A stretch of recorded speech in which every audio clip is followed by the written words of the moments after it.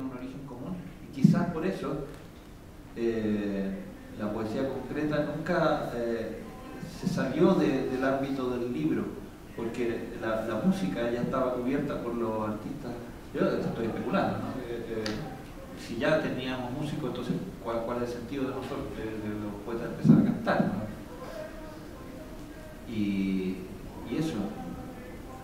pero ahora me acordé lo que tenía que decir.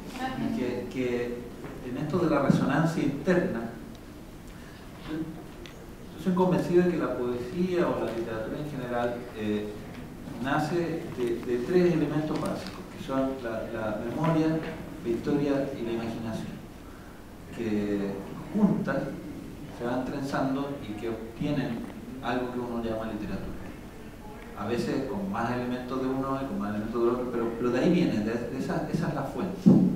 La memoria, la historia y la imaginación y que eh, eh, eh, en general son las tres la misma cosa.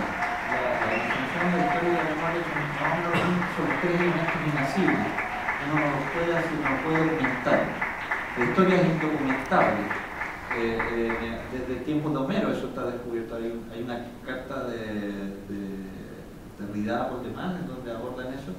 Precioso dice que yo, yo nunca, nunca, nunca he sabido contar una historia, dice y empieza a, abordar este asunto de cómo contar una historia.